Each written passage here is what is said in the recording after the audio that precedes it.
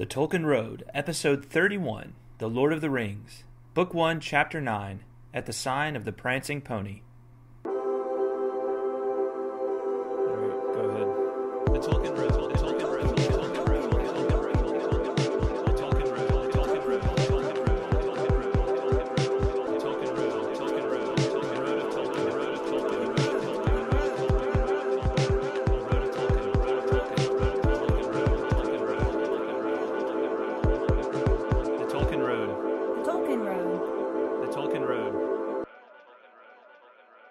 Hey there, fellow travelers. Welcome to the Tolkien Road, a long walk through the works and philosophy of J.R.R. Tolkien. On this episode, we continue our discussion of The Lord of the Rings with Book 1, Chapter 9 of Fellowship, At the Sign of the Prancing Pony, wherein we experience the town of Bree, meet the mysterious ranger Strider, see the ring play a trick, and are entertained by Frodo's rendition of The Man in the Moon. By the way, if you haven't already, please leave the Tolkien Road a rating and feedback on iTunes. We'd love to know what you think of the podcast. Enjoy the show. Well, hello everyone. Welcome to another episode of the Tolkien Road. With you as always, I am John, and I'm joined by my co-host Greta. Greta, how are you? I am super duper. Keeping it real? You know it. Always real. and forever. Keeping it real Tolkien style? Mm-hmm. Mm-hmm. Nice. Yeah. Can't you tell by the crickets in the background? Yeah, yeah, we're we're trying something. We're trying out just uh, going the full Monty.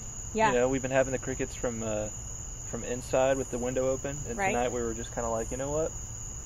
Let's uh, let's do this. Let's just go for it. You know. Yeah, right. So Go big or go home. yeah, go big or go home. So uh, hopefully the crickets aren't just completely overwhelming. Um, but or distracting.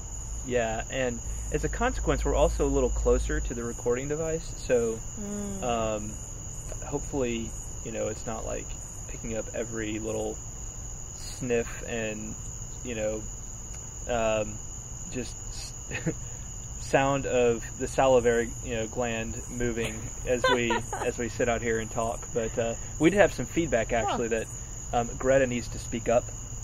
Yeah, Greta, I do. you need to be louder. Well, now I'm worried about my salivary glands being completely obnoxious. So. Well, you should be because you have some obnoxious salivary glands. wow. No, just look. You know, look for that little red light there, uh, in case if you'll see the little red light blink if it uh, if we're being too loud. I guess you could say. Okay. But I think right now we're talking at a pretty good volume. So, Awesome. um, yeah. So on this episode, we shall be discussing uh, Book One, Chapter Nine of The Lord of the Rings, at the Sign of the Prancing Pony. Sign of the prancing pony. Isn't Yeah. it weird to be at a sign of something? Yes. Right? I mean, I don't you think of being more like at a place, whereas a sign is a thing? You know what I'm saying? You think of it being like I'm at my house or Mhm. I'm at the beach, right? You don't think of being at a sign. Hmm. It just Yeah. struck me today when I was reading it again. And I was like, that's weird to be at a sign. Like they just stand at a sign. I just think So you can be at a stop sign, I guess. I just think it's a way of speaking. I mean, you know, it's like, um, it's it's it. I think it's a little more dramatic sounding than just saying "at the prancing pony." You know, you um, think so? I think to say "at the sign of the prancing pony," we, it's almost like they're standing outside and like at a crossroads. You know, like do we go in or do we not? You know, Mm, Okay, I can I don't know. that. That's, that's my thought. that makes I sense. mean, I see what you're saying, but Yeah. I hadn't thought of that. No, I like Good. that. I like that Good. explanation.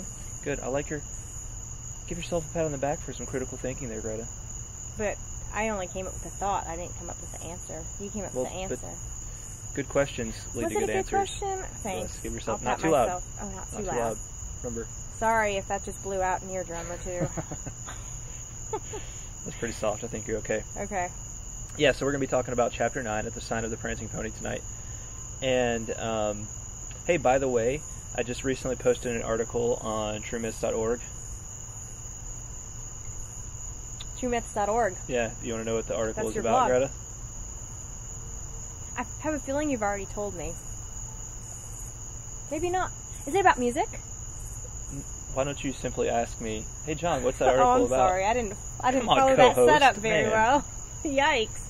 I'm a little rusty. We are 31 episodes in, and still it's like, Thirty-one. and still it's like, you know, Why did we not have a party at number thirty? I mean, I'm, I, you know, we we need that like, you know, Johnny and Ed kind of synergy going on. We need that like, you know, Who are Johnny Conan- and Oh, you're Conan Johnny and Carson. Andy, you know, Conan and Andy. kind of oh, okay. thing. Wayne and Garth.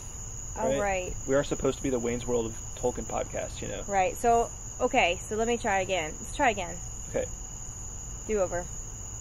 What was I talking about? Your the article you just posted. On oh yeah, what was that article about again? I don't know, John. Why don't you tell us? What is the article about? Hmm. I'm glad you asked, Greta. So the article I wrote was about.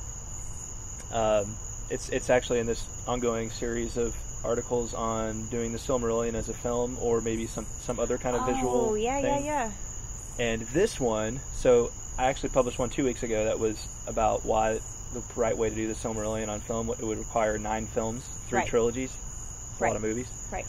This one is about how I'd actually break that down and how I'd do each movie. right? Oh, neato. Okay. So, um, so I encourage everybody to go over there and check it out. And uh, you know, it's just just kind of a fun little process of going through the entire Silmarillion and saying, okay, where are the big stories here to, you know, that I could actually turn into a film. right. And um, yeah, That sounds very cool. I'll have Yeah. to check that out. right on. Thanks for telling me about it. Yeah, definitely. And uh, I encourage everyone else reading to check it out. too. Yeah. Do it. Yeah. Okay. Uh, well, you know, we've reached that point in the podcast where it is. Oh, what's that? I think Thank I I think you know what time it is. Is it haiku time? That's right. It is. Haiku time.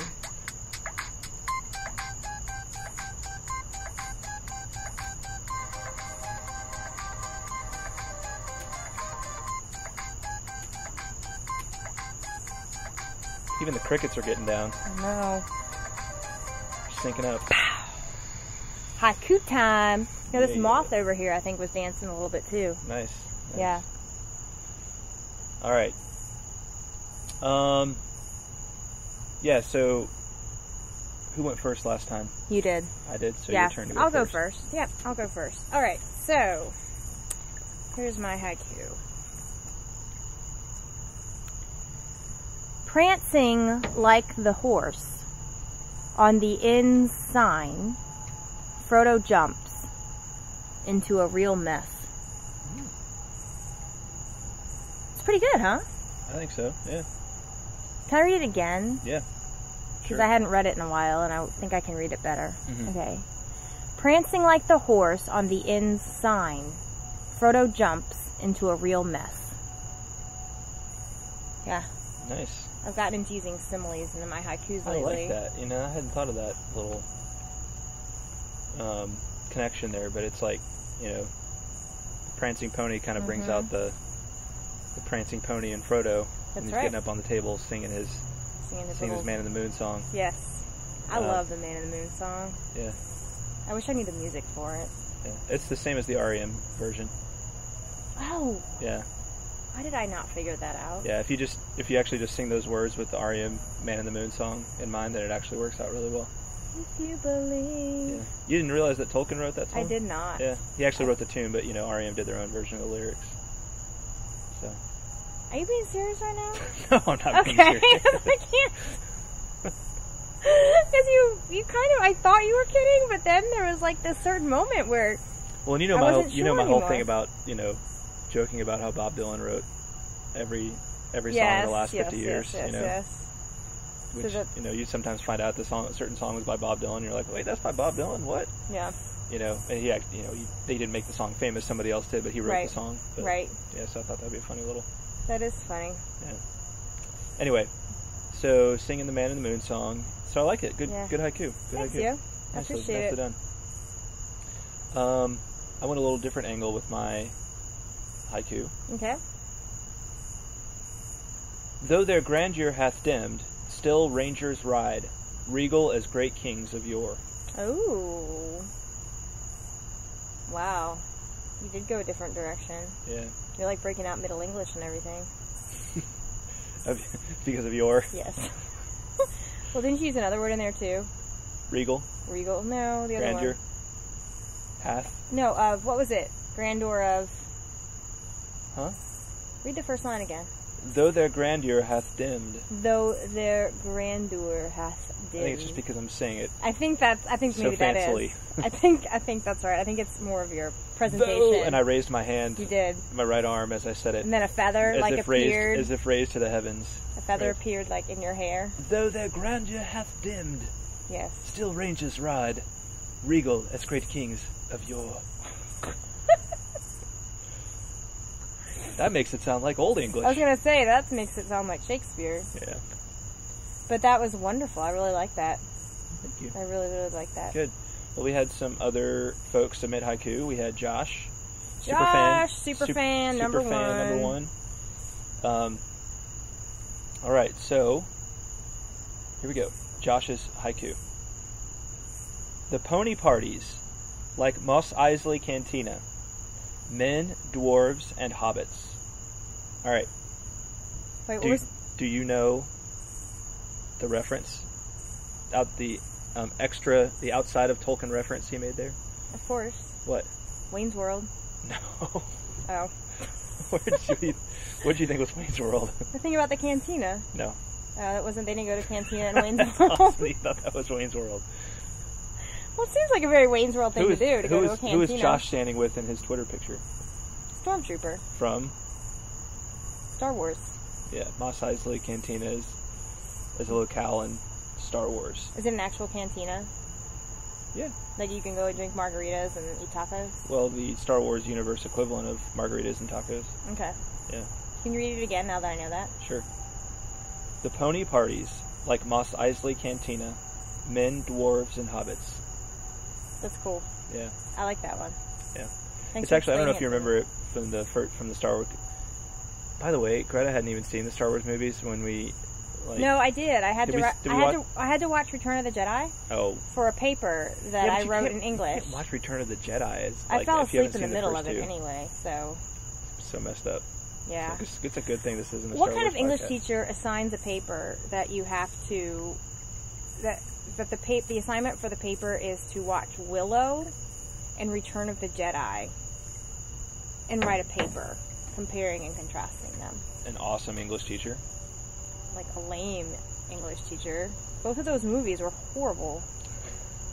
There was a third one too. I can't remember what it was. Do you so I want think to? I slept through do you want thing. to keep Josh as our super fan? I do want to keep. I'm sorry. I need to stop talking. You need to like watch those movies again through the eyes of your children, Maybe like I with do. them.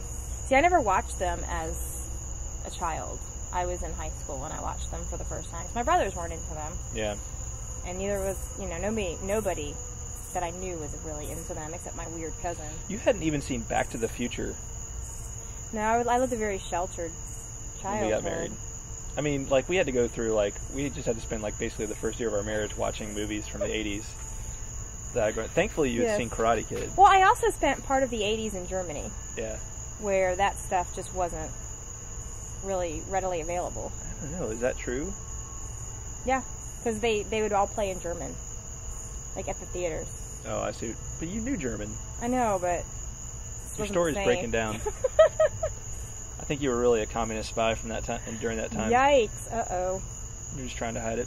Witness protection. Get me out of here. Oh.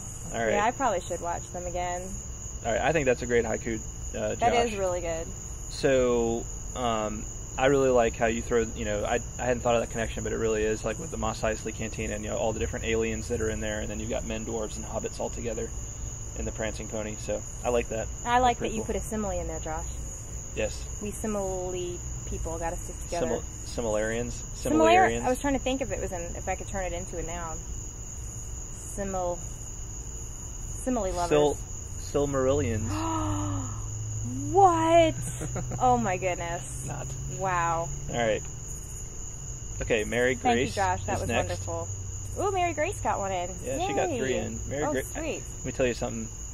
Mary Grace like blew my mind this time. Like Woo! this, she, she had three haiku and she had she submitted a long poem that I'm gonna read as well because I mean if you're gonna write a long poem for our podcast then I got to read it on the air. You gotta read it. So, Yes. all right, let me read you your haiku first. Okay. In the warm tavern, through a slight slip of a took, Bilbo's trick replays. One more time. In the warm tavern, through a slight slip of a took, Bilbo's trick replays. That's awesome. Yeah, That's really good. Yeah, I like the slight slip of a took. I know. I like that alliteration. Me too. Me That's too. really good. I like how she draws the connection with Bilbo, Bilbo's little trick too. Mm-hmm. Yeah, it's funny. I actually wrote one of my haiku that I oh didn't yeah, read. she said Bilbo's trick, not Yeah. Frodo's trick. Ooh, nice. I, like it. I did the same thing with one of my haiku, but not not the exact same haiku, obviously. But um, I drew a parallel with Bilbo's birthday. Ah, and And the mine. one that you did not read Right tonight. Yeah, I'll put it on the air. available on the on the website. on the website. Yeah. That's Um, really good, Mary Grace. We also had Roman um, submit a haiku. Roman is a new submitter of haiku. Sweet. Um, he submitted two, so I'm gonna read. I'm gonna read one of his. okay. Prancing pony found a nice meal enjoyed. Frodo is yanked to shadow. Ooh, Nice. Yeah, I like that. me too. Yanked to shadow. Yanked. I like it. To shadow. Yeah. Yeah. Well done, Roman. Yeah. Good job. All right. Here's guys. Mary Grace's long poem. All right. Okay. Should I get comfortable? Is it like really, really long? It's it's kind of long. It'll probably take a few minutes. Okay. Yeah. Let's All right. do it. Go big or go home. Once four hobbits, called halflings of old, were traveling with a ring of gold. They had barely escaped Wights and a Willow, and now they wanted food and a pillow. Tom Bombadil told them of an inn, the prancing pony owned by a Barliman, where they could find rest and food and drink. Down into a bed at last they could sink. At dinner the hobbits all gathered round, in the common room with big folk they could be found. And a fool of a took forgot what he heard, of my name, which is Baggins, you must not say a word. This took was comically describing Bilbo's party, of the dance and the food and the wine so hearty.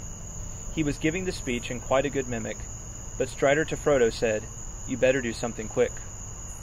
So Frodo leapt up and began to talk, while Strider and Corner watched him like a hawk.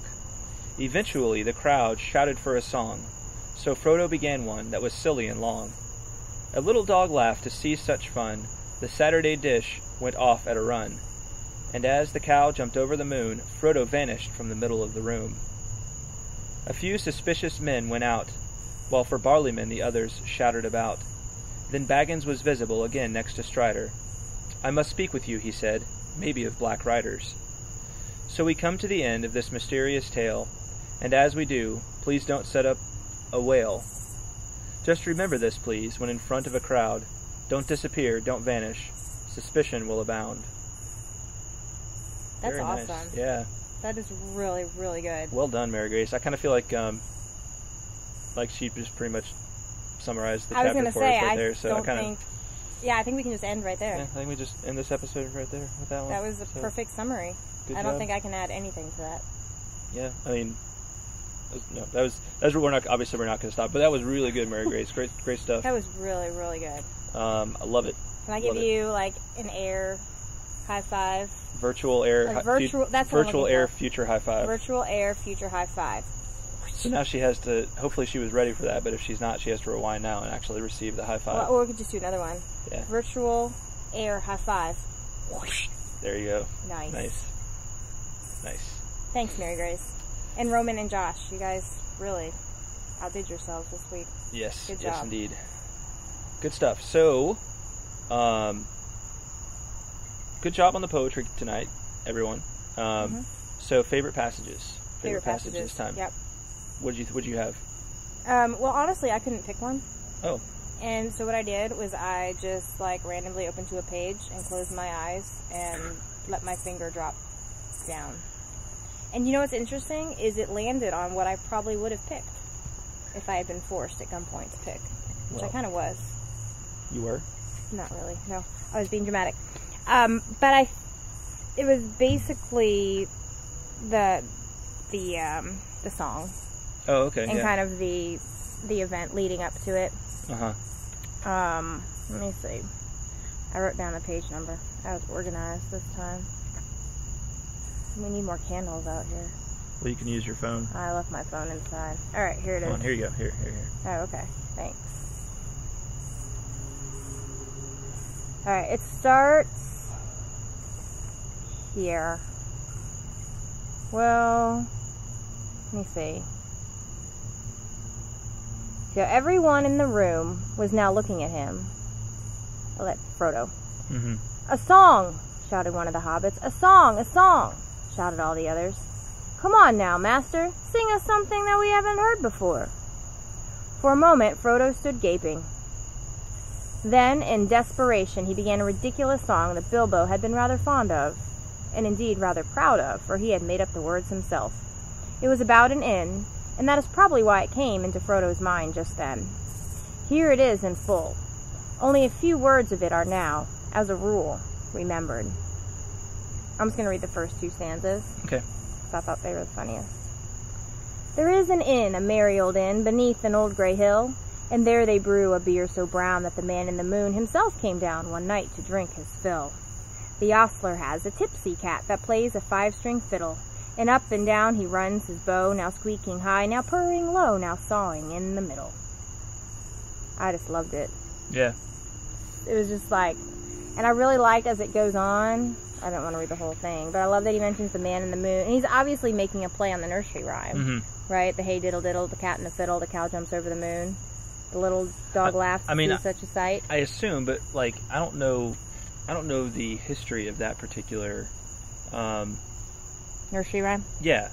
I don't I- I- maybe you're right. I just I don't know at all. Like if anybody has done a study on that and um, how far back that whole nursery rhyme goes. oh, so whether, you think maybe Tolkien wrote this before the nursery rhyme? No, I don't. I think he. I think he took some of it from some old like folk nursery rhyme. Yeah, but I just haven't done any of the research on it, like to see, um, to see if he came up with what what things he came up with and what things he didn't. I see. I So- gotcha. Well, I think the thing about about uh, brewing a beer so brown that the Mhm. man in the moon himself came down to drink his fill. I think that's my favorite line in the whole Yeah. song. Yeah. So clever and so witty. Um, so, and I can just kind of picture. Maybe it's because of the movie, but I felt like I could just picture Frodo dancing on the table. I'm trying to think of like this song. I'm trying to think of this as the REM song now. Let's see. There is an inn, a merry old inn, beneath an old grey hill. And there they brew a beer so brown that the man in the moon himself came down. The ostler has a tipsy cat that plays a five string fiddle, and up and down he runs his bow, now squeaking high, now purring low. oh, so you're skipping the last line. Oh yeah, I'm trying to see if it would work out. I could probably make it work out, but I'm not gonna. I'm not gonna torture our listeners anymore with that. Sorry, sorry. That was probably really lame to listen to. I do apologize. I just, I just Well- had, I just had to humor myself. well, All right. At, Good. at least you have the haiku song to preserve your reputation That's as a true. musician. That's true. Yeah, I'm. Hopefully, my reputation as a musician is not hinging on that that little performance. Well, I'm just saying. Um, at least you have that to cling to, and No, I mean that Aftermath. that that that poem is obviously kind of a highlight of the chapter. and, yeah. Um, really, really clever, really fun, and Mhm. again, it's just you know this first whole book of Fellowship is kind of it's kind of weird in that way. It's Yeah. you know it's about things things are about to get so serious, and they really already are. You know, they got these Mhm. black riders on their trail, and Mhm. you know they were almost swallowed by a willow, and you know they were almost buried alive by barrow wights, and all this crazy stuff. And then, Mhm. but at the same time, there's like funny little nursery rhyme kind of songs going on, and right. um, I don't know. It's just it's this really interesting synthesis of different different styles and different words. yes. Well, anyway, I picked a um, I picked a, uh, another passage towards the end of the chapter. Okay. Um, this is the argument that Butterbur has with Mister Mister Mugwort. What a name. Meanwhile, an argument was going on by the fireplace. Mr. Butterbur had come trotting in, and he was now trying to listen to several conflicting accounts of the event at the same time. I saw him, Mr. Butterbur, said a hobbit, or leastways I didn't see him, if you take my meaning. He just vanished into thin air, in a manner of speaking. You don't say, Mr. Mugwort, said the landlord, looking puzzled. Yes, I do, replied Mugwort, and I mean what I say, what's more. There's some mistake somewhere, said Butterbur, shaking his head. There was too much of that Mr. Underhill to go vanishing into thin air, or into thick air, as is more likely in this room. Well, where is he now? cried several voices. How should I know? He's welcome to go where he will, so long as he pays in the morning. There's Mr. Took now. He's not vanished. Well, I saw what I saw, and I saw what I didn't, said Mugwort obstinately. And I say there's some mistake, repeated Butterbur, picking up the tray and gathering up the broken crockery. So I just like that. I like I like the uh, you know Mugwort and like his kind of his obstinate arguing with Mr. Butterbur, and like Mhm. you know he's just like, I mean what I say. What and you know Butterbur is just kind of like, oh you don't say, and Mugwort's like, I do. You uh, yes I do, and I mean what I say. What's more, and then Mhm. he's like, well I saw what I saw, and I saw what I didn't. Right. Whatever that means. Whatever that means. But actually, it does. I mean, when I read when you read that by itself, it's like, what does that mean? But then you read it in context, and you're like, well, he's saying like he knows he saw what he didn't see, which was he didn't Oh, see Frodo. he didn't see right? Frodo? Right. Anymore. Right. Right. Right. Okay. So- Yes. Yes. Okay. Yeah. Yeah. It was, yeah. It's fine. So- I like the part about how there was too much. There was too much of that Mister Underhill to vanish into Right. thin air. Right. so what would be like if Frodo overheard him, be like, "What? You calling me fat? Yeah. What's yeah. your deal, dude?" Yeah. Yeah. Yeah. yeah. The, in other descriptions, you know, Frodo is not exactly the, uh, you know, the, the skinny Elijah Right, Wood guy. You know that yes. that he is in the Peter Jackson movies. Al- Right. Although I really like Elijah Wood Elijah Wood's portrayal of Frodo. He's Yes. it's I not exactly who Frodo was in the books. You know. Um, so right. Um, anyway, uh, yeah, that was my favorite passage. I like it. Yeah. Good choice, John. Thanks. Welcome. So, um, so yeah, what did you? Oh, you know what? What? Before we discuss any more of this chapter, I have to make a couple corrections from last episode because um, I really didn't do a good job of of researching the whole Barrow thing before the episode, right? Okay. Um, but uh, superfan Josh actually hooked me up with a um, uh, a little screen capture from uh, this book called the Tolkien Dictionary, Hmm. and How do you not own this book, John? Well, I got to look it up and, and see what this book actually is. But um, here's what it says about the Barrow-wights. Um, Hey, refresh my memory. The Barrow Wight. Oh, that was like the thing that swallowed Yeah. them, right? No, no, no. The old man Willow swallowed them. The No. Barrow-wight was the was the oh, thing that, that captured was, that's them. right. The thing that Right. ca- and then tied them up. Right. That's right. Okay. Here's what it says: For many ages, the Barrow Downs were sacred and revered, until out of the witch, out of the witch kingdom of Angmar, many terrible and tortured spirits fled across Middle Earth, desperately seeking to hide from the ravening light of the sun. Demons whose bodies had been destroyed looked for other bodies in which their evil spirits could dwell, and so it was that the Barrow Downs became a haunted and dreaded place. Hmm. The demons became the Barrow-wights, the undead, who animated the bones and jeweled armor of the ancient kings of men, who had lived in this land in the first age of the sun. The Barrow-wights were of a substance of darkness that could enter the eye, heart, and mind, or crush the will. They were form shifters and could move from shape to shape and animate whatever life form they wished. Most often, a Barrow-wight came on the unwary traveler in the guise of a dark phantasm whose eyes were luminous and cold. The voice of the figure was at once horrible and hypnotic. Its skeletal hand had a touch like ice and a grip like the iron jaws of a trap. Once under the spell of the undead, the victim had no will of his own. In this way, the Barrow-wights drew the living into the treasure tombs on the downs. A dismal choir of tortured souls could be heard inside the barrow, as in the green half-light, the Barrow-wights laid his victim on a stone altar and bound him with chains of gold. Um, Hmm. so, you know, good stuff on on what the Barrow-wights Yeah. really are. Mm-hmm. Um, and then also, I, I you know I looked up the barrow, the whole which what is a barrow, Mm-hmm. you know, in the first Right. place. And so a barrow was basically like a, a burial mound, like. That's what we talked about that. so we talked bit, about that didn't a little bit, Yeah. but um, I looked at it. I mean, I I guess it's a pretty common term, okay. you know, before our time, I right? see. And this was, Okay. you know, it was like sort of a, um, y- you know, I mean, you know, like the Egyptians built big pyramids for like their kings and like buried them in these, you know, huge tombs. Right. And I think it was just, I think it was sort of a similar idea, maybe on a smaller scale, building a bunch of, you know, building like kind of a house underground for the dead. I see. Um, okay. And um, so, what was I going to say for? Oh, um, and what was really interesting was, you know, I, I got this book to uh, uh, that I've been wanting to read, um, and it's part of the Chronicles of Prydain, which probably some of our readers have read. Mm-hmm. Um, but it's called the Book of Three, and uh, it's sort of, you know, it's basically a fantasy novel. Right. Um, right. and uh, and like in one of the first chapters that I read, it mentions a barrow, right? Oh, it mentions okay. know, it's like a burial mound. So it just I happened to pop up when I was reading that today. Very cool.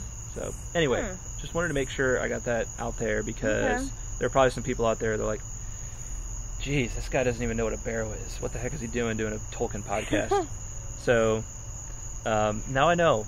Now I stand Now corrected. we all know. Thanks to superfan Josh, yes, who is always you. willing to lend a helping hand. So, so- shape shifters, huh? Yeah. Those are creepy. That's like what was in um, that show that we watched. Which one? You know, that sci-fi one, um, Fringe. Weren't there shapeshifters in Fringe? I think so.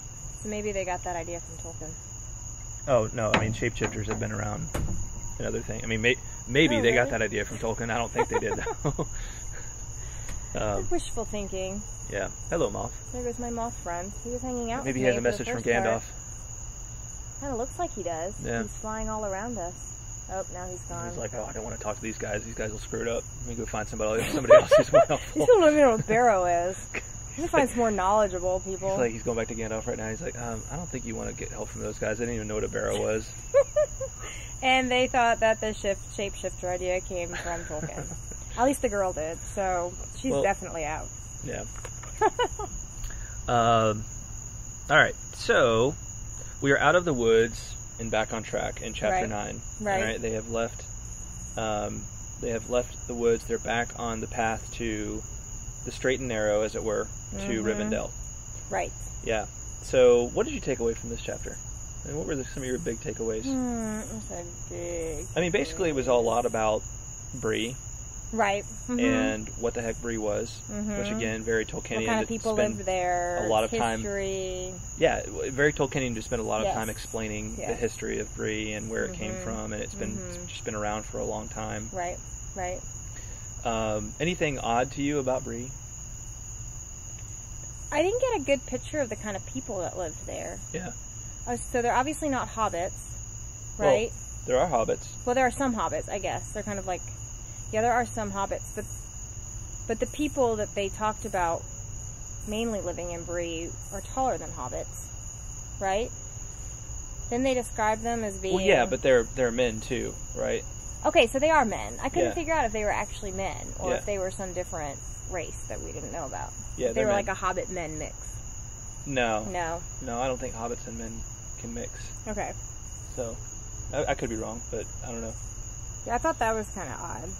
Just how it seems to be kind There's of there's a, yeah, there's definitely men, and then there's hobbits. and there's hobbits. Yeah, and that's unusual. yeah, because up until now, like, it's really hasn't been that much of a melting pot. It's no, just been, not at all. you know, hobbits here and elves there and dwarves somewhere else. Mm-hmm. Um, and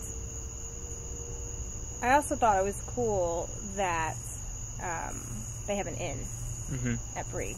Yeah, They never talked about having an inn at the Shire.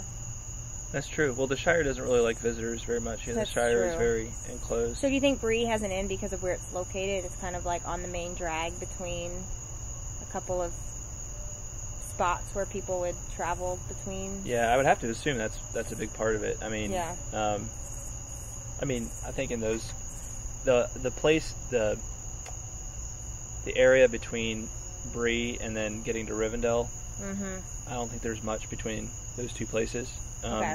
in in terms of civilization. Right. So if you're a traveler, then you kind of have to, you know, camp Right.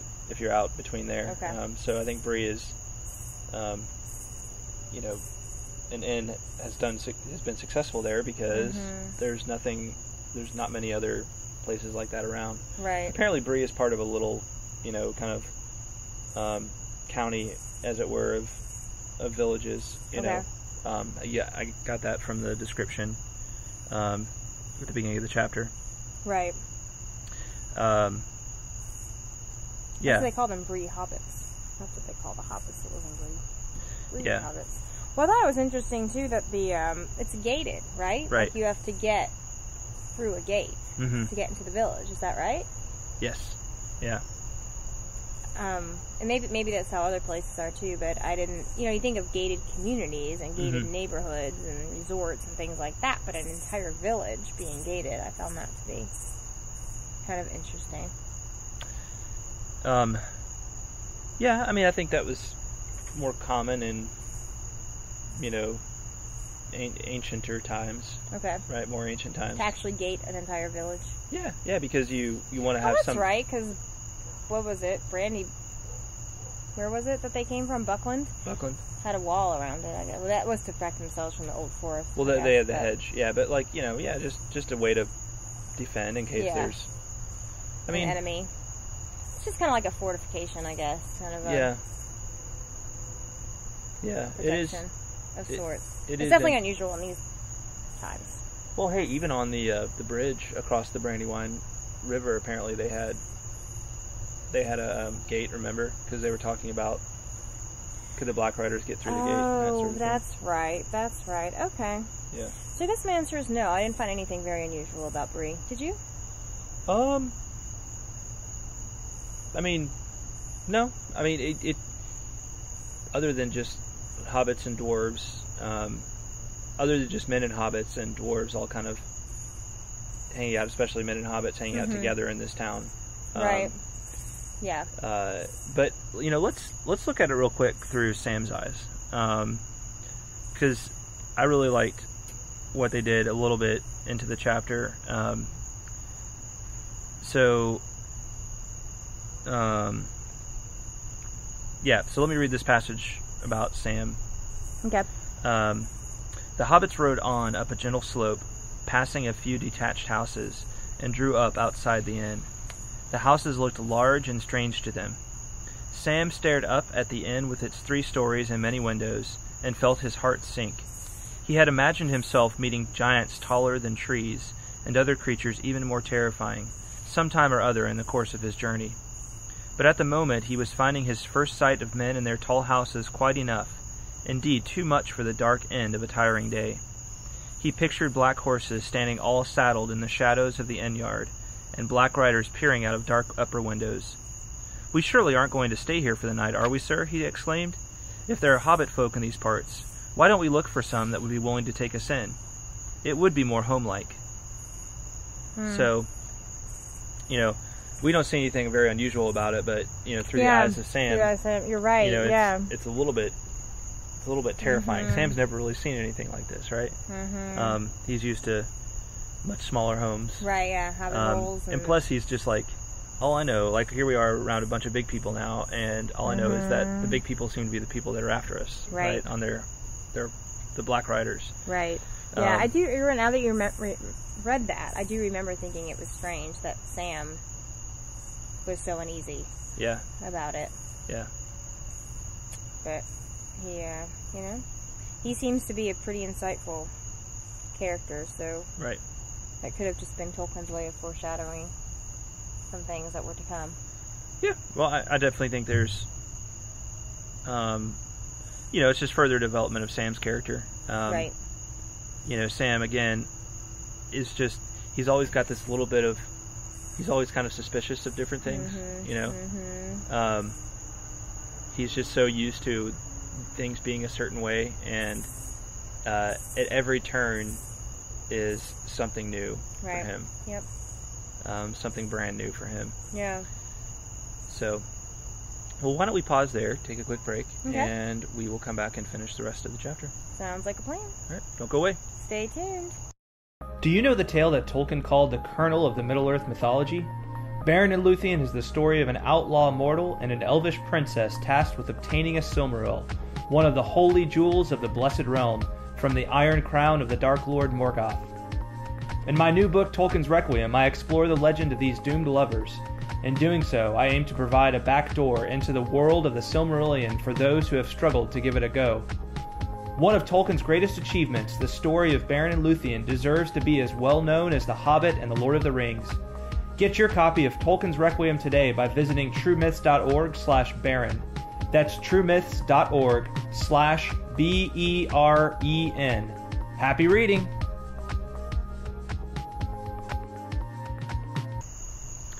All right, and we're back.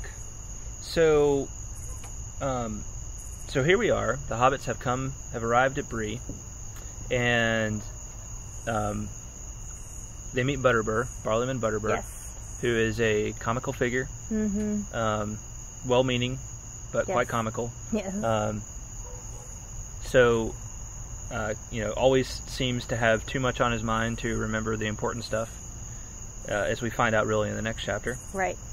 Yes. Um, and so they get they get to know Barliman. He asks them some questions, um, and and then they notice this guy Strider, um, Right. who you know sitting over in the corner and asks Barliman about him, and he seems this very mysterious figure. Yes. And you know, if you're reading this for the first time and you don't know anything about the story, um, you know, there's a way in which you might even think this guy might be one of the Black Riders. Oh, right? absolutely. Um, yeah. And and by the way, did you catch the part at the beginning of the chapter where, as they were coming in through the gate, there was a dark figure that slipped over? Yes. gate behind them? Mhm. Yeah. You know, very very ominous. Yeah. Um, I'm, definitely. I think that was Strider. I assumed it was. Yeah. Yeah. Um, But it could have very easily been. yeah. For, for all guy. we you know, for all you know, reading the book for the Right. first time, it's uh, Mhm. it, it could have been anybody. Yes. Um, and we don't know that Strider is a good guy at this point. So, um, but interesting fact about Strider. Um, in the Shadow, uh, the Return of the Shadow, which is you know the book, the um, History of Middle Earth series Oh, right. Yeah. um, about the Fellowship of the Ring. It uh, it reveals that Strider's original name was Trotter. Trotter. Trotter, yeah. So when you say original name, you mean when Tolkien first wrote Yeah. it before Yeah. he revised it? Exactly. And what's Huh. really what's really interesting about it, I want to read this um, in a letter. Um, let me find the right letter. Sorry. Don't cough towards the microphone, oh, I'm please. so sorry. Sorry, everyone. Oh, I am. My apologies. Sorry you had to hear Greta coughing up a lung. All right. That's what it sounds like. Oh, I'm so sorry. Let's see. So, um, in a letter of looks like 19. Ooh, it's a long one. Um, to W. H. Auden of all people, who is a uh, who is a poet and critic of the mid 20th century, American, um, a well-known one. Um, you're going to find him in like poetry anthologies and that kind of thing. Um, so, a letter of 19, June of 1955 to W. H. Auden. At the very end of the letter, he says. Uh, but I met a lot of things on the way that astonished me. Tom Bombadil I knew already, but I had never been to Bree. Strider sitting in the corner at the end was a shock, and I had no more idea who he was than had Frodo. So I love what this says about Tolkien, Tolkien's Mhm. creative process, because Mhm. you know, obviously, like anybody who's writing a book, he has some idea of where he where he wants to go with the book. Right. But then he gets to Bree, and he, first of all, he discovers Bree, and he's like, "Where did this come from?" Because it's not in the Hobbit, right? They, you know, they took okay, the I was going to ask about that. No, It's they took not. they took the same road in The Hobbit, which is interesting because actually in one of the Peter Jackson Hobbit movies, he includes Bree in it. Oh. Um, which is, it's actually, um, it's not not as part of the actual story. He includes it in a prologue, which is actually fine. okay. Um, but Tolkien didn't know what Bree was when he wrote The Hobbit, Hmm. and he didn't discover what it was until much later in writing The Lord of the Rings. And um, so not only did he not know what Bree was, but he did not know who the Strider guy was. So Strider, he, he brings them into Bree to the Prancing Pony, and here's this Strider guy who he called Trotter at the time, sitting in the corner, Hmm. right? And he's like, "Who is this guy?" You know, and so he That is just so funny. yeah. Well, and it's just great that that's. I mean, that's how the Hobbit really started, right? Is he was just like he had this Mhm. thought in his head, like in a hole in a hole in the ground there lived a Hobbit. And he wrote it on the back of like an exam paper he was grading. You know, and that's how that's how hobbits came to be, started. right? That's amazing. But you know, I just I love that because you know Mhm. it really you really get a sense that Tolkien, at the end of the day, did not view himself as like, oh, I am this master artist and creator. Right. You know, Right. it just like kind of really pretentious sort of Mhm. mentality of um, of like the artist and that kind of right. thing. Yeah. he viewed himself just as like uh, just on this like journey of discovery of this other Mhm. world that that was there in his mind Right. and um, And he was willing to be surprised by it. yeah yeah He wasn't so he wasn't so locked in to his vision or ideas or you know he didn't he he, he wasn't he was willing to to just go with the flow Yeah. right and you know he didn't have any premeditated calculated visions of exactly how it was going to be Yeah. he was he was willing to just take it one letter at a time yeah i mean i think that style of i think that's that ethos of creativity Mm. is really wonderful and beautiful because I think it's so, you know, it's easy to want to have to be like this is where I'm going, right, with my art. This is the story I'm telling, Right. and um, and I feel like sometimes, like in a sense, you have to do that, but it's some it, on some level too, you have to be willing to surrender it to something else Right. and yeah. be like, well, that's not really where it needs to go, Right. Or not fully where it needs to go. Right. Um, I mean, just so so much of the weirdness of this first part of the Lord of the Rings is just like including Tom Bombadil in there. You yeah. know, um, I mean, who else would have done that? Like that's just that's not even normal for most. That kind of thing is not even normal for most fantasy novels. Right. You know, like right. um, pe- people generally want to cut to the chase. You know, like let's get to the action, Yes. and he's like including this weird Yeah. Val of Poverty, Tom Bombadil guy in the Yeah. story, and then, um, but uh, you know, even as I'm like writing a song, sometimes, you know, you you want this, like if I'm writing a song and I'm like, oh, it's got to be this, you know, and then at some point I'm just like, no, it really needs to go this direction, or I just I just stumble upon something like a you know a Mhm. guitar tone when I'm trying to make the song sound the way I think it should sound, and I'm like, oh wait, Mm-hmm. maybe this is the direction it should go, and I go that way, and I'm like, oh yeah, this Mhm. actually works a lot better Mm-hmm. Right? Mm-hmm. and I don't need all that. Like actually, all the other stuff would have been a huge distraction. This is Right. what the song really needs to be. right. So it's I don't know. Yeah. It's just um, I think it's just this joyful aspect of artistry to feel like you're you're collaborating with um, you with with your muse, right? You're Mhm. you know in a sense collaborating with God, right? Mhm. Absolutely. Um, as yeah. you as you create these things, and it's very in keeping with his Tolkien's idea of subcreation as well. you know, Right. Right. What we read it about in Mythopoeia. Yeah. Um, It's very. I feel like it's very intrinsic. It's very natural. Yeah. Like it's just a natural progression. It's just completely unadulterated, you know, or calculated. It's just free flowing. hmm You know. hmm I mean, I know I've. I can tell you, I've started making dinner on countless nights with a particular thing. I'm gonna make this. hmm And by the time I'm done, it doesn't look a thing like what I'd Right. planned on making because I was like, oh, let's Yeah. try putting some of this in or that, and Yeah. we sit down to eat, and you're like, what is this? And I'm like, I don't know. Yeah. Well, I mean, and the thing too is that, like what you what you said, if you don't, if you have no idea where you're going, it's not likely to turn out well. No, no, but if you start out and You you're like, well, this is what I'm going to do, but then you're like, well, Right. maybe what if I try doing this? Right. You know. Exactly. Um, Exactly. I you feel have inspired kind of to do this. Yeah. yeah. you have kind of an overall big picture idea, but the little details you're willing to Yeah. to mess with, you know. Yeah. and It's just that, the, uh, you know, it's that. rhythm. Uh, do you remember when we went to um, the Over the Rhine concert at their farm, and they had the signs up that said uh, "Keep the edges wild" or "Leave the edges wild" or or whatever. Yes. Yeah. Yes. Yes. That's what I think of when I think of this. You know, it's like just Mhm. leave the loose ends loose ends and don't Right. try and tie every little bit up.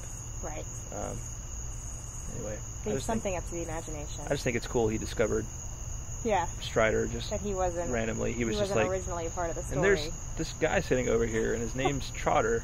You know, I, d- I'm, I am that's thankful that he changed his name from Trotter to Strider. I am too. I am too. But they're related though, right? Like a trot and a stride. yeah, yeah, yeah. Um, but it's real. It's really funny to me because, as we'll see as we continue through the trilogy, I mean, he's like a central character in all the books, Mhm. Mhm. right? I mean, he's not like a Tom Bombadil guy who's here for a chapter or two and then gone. Right. I mean, this is like he plays a huge part Oh yeah. in the entire length of the story. Right. Right. So that's really funny to me that he had no, you know, that he didn't have him planned out from the beginning. Yeah. I think that's great though.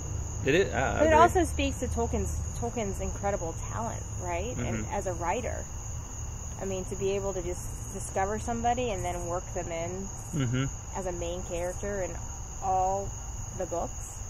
I mean, that takes some some serious uh, some serious talent, Yeah, for sure. some serious writing prowess, storytelling. Um, yeah, definitely. We're in total agreement. Um, Well, good. 'cause I don't like it when you disagree with me. yeah, well, I'm just saying. I'm glad you agree with me. yeah, me too. I'm glad. I'm glad I agreed with me too. You're glad that I'm glad. I'm happy that you're happy. Okay. Um, okay.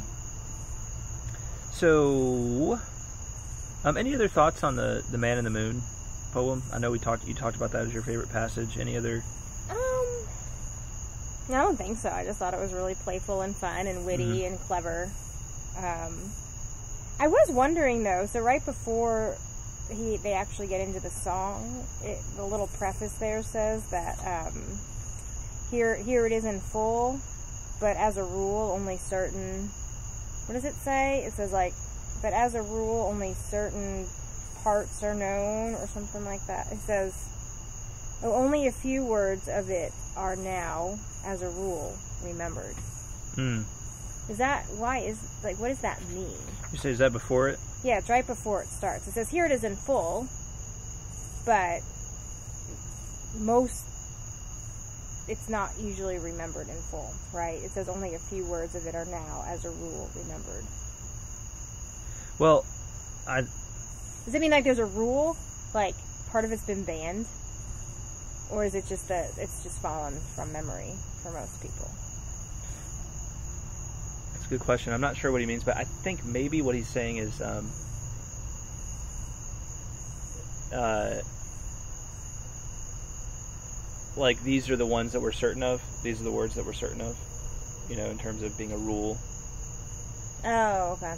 Um, Well, he says that here it is in full, though. Right? It says here Um, it is in full. It's not. We don't need to get. oh, oh yeah, okay, okay. Here's the poem in full. Yeah, I don't know. Okay. I'm not exactly sure what that means. I hadn't thought about that.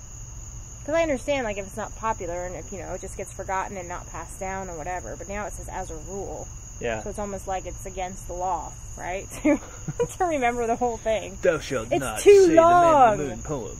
It's too long. You may only remember the first four stanzas. Right.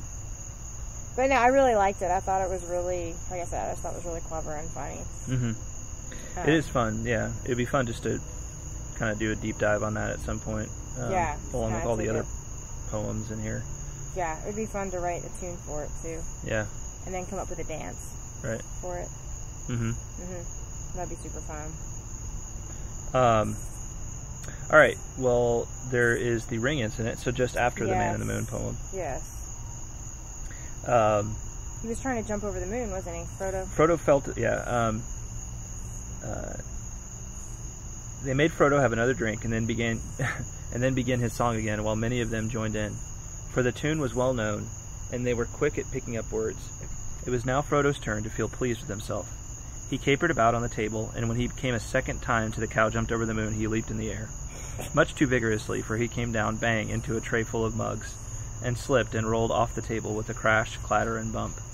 The audience all opened their mouths wide for laughter, and stopped short in gaping silence, for the singer disappeared. He simply vanished as if he had gone slap through the floor without leaving a hole. You know what they call that, John? What? A party foul. Party foul? Big time party foul. I don't know. That would have been a pretty sweet thing to see at a party. the guy just disappear. Yeah, Yeah, but he made kind of a mess. that's true. That's true. Yeah, it is a party foul. You're right. Yeah. Um, yeah. But it said before that that he had been, the ring had been kind of beckoning to him. Yeah, right? yeah. Like I was I was going to ask you about that. So yeah. it, uh, one paragraph later, it says Frodo felt a fool, not knowing what else to do. He crawled away under the tables to the dark corner by Strider, who sat unmoved, giving no sign of his thoughts. Frodo leaned back against the wall and took off the ring. How it how it came to be on his finger, he could not tell. He could only suppose that he had been handling it in his pocket while he sang, and that somehow it had slipped on when he stuck out his hand with a jerk to save his fall. For a moment he wondered if the ring itself had not played him a trick. Perhaps it had tried to reveal itself in response to some wish or command that was felt in the room. He did not like the looks of the men that had gone out. Well, even before that, though, Mhm. even before he started his song, it, it says, it talks about how he he felt the ring on its chain, and quite unaccountably, the desire came over him to slip it on Yeah, and vanish out of this silly situation. So it's and it seemed to, it, and furthermore, yeah. it seemed to him somehow as if the suggestion came to him from outside, Mm. from someone or something in the room. Right. So he had already was starting to work on him, hmm and then the fall just kind of made it happen. Yeah. I guess. Well, it's it's just funny because it's using his you know his desire to stay anonymous and stay and be inconspicuous against him, Mhm, right? Which is a mhm. good desire again, Right. you know, because he's obviously in danger. Right. Um, and it's like, oh come on, just put me on, and then that'll fix your problem. You'll be invisible, Right. right? Right. And it's funny that it says um, he resisted the temptation to put it on firmly and clasped the ring in his hand as if to keep a hold on it and prevent it from escaping or doing any mischief. Um, so Mhm. his response to this temptation is to firmly resist it, but then to grip the ring ever tighter, right? Yeah. And you just see how subtle, how subtle it really is, right? And it's how subtle its devices are yeah. because it's using all of these desires and it's like but he's got to hang but he's got to hang on to it at the same time right? Right. He he has this responsibility for it right he is the the steward of the ring as it Right. were Yeah. and if it gets out of his hands who he's failed right hmm so But at the same time, by grasping it like that, he's totally setting himself up for. Yeah.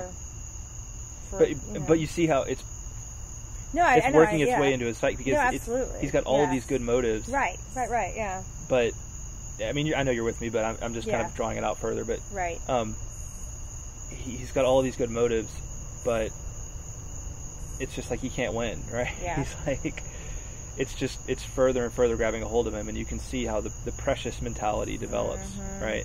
Right. Yeah. know, yeah. That's absolutely um, true. It, it can go from being like I have I have an errand to keep with this, you know, to, to go do with this ring, and it's and it's a very important errand to Mhm. eventually becoming like this is mine, right? Yes. Yes. I've kept it all this way, I deserve Mhm. it, right? Mhm. How that could Mhm. how that could gradually slip in, Right. um, Yeah. yeah. Absolutely. Yeah. I mean, it, that's how the ring works, right? Is it exploits your good intentions, hmm and it, it plays on, it totally plays on those. And then isn't the um? 'cause it says in there he felt like the the temptation was coming from outside. So Yeah. is is that temptation stronger when, say, the Black Riders are near, or I mean, can't because I felt like I remembered something where if the Black Riders are near, they can like play these mind games, right? Where Mhm. they can basically will the ring to behave in a certain way. Because by him putting on the ring, it, by Frodo putting on the ring, it helps them. It helps to expose him Yeah, to them, right. right? So, um, so can't but when the Black Riders are near, is the temptation to use the ring greater? Do you think? Um, sorry, something weird just happened with my phone. There's a moth obsessed with the flashlight. I know, that's why I'm trying to turn it off. There we go. Go away, moth. Um, say your question again, please. Okay, Sorry, that I was moth distracted. really kind of distracted you. I was asking about the Black Riders, and is the temptation or the effect of the ring maybe stronger when they're around? Can I they think- influence it somehow? I think so. I think that's what's being Yeah. That's what's being That's what's implied. being hinted at. Okay. Um, I don't know exactly the mechanism for it, but Okay. I think they they have an influence and are able to kind of call to it or get it to call to them or Right. um, to do things that will. Well, and um, I guess this, we don't we don't, we don't want to get into that yet, probably because I think that's the next chapter. Um, but we're going to talk more about the Black Riders when Yeah, we talk about will. the next chapter. Yeah. Um, and the way they work, but Yeah. Uh, all right. Any more thoughts on this chapter, Greta? No, I thought the ending was pretty cool. Yeah. Kind of a nice cliffhanger, Yeah. right? Because they like, they they somehow get out of the whole, you know, um, party foul situation, and they're like, oh, phew, now we get to go just relax and recuperate and get up our energy for tomorrow, and then they go into their room, and isn't. Oh, maybe that's the next chapter. Next chapter. My bad. I'm sorry. Nice one, Greta. Uh, I'm embarrassed now.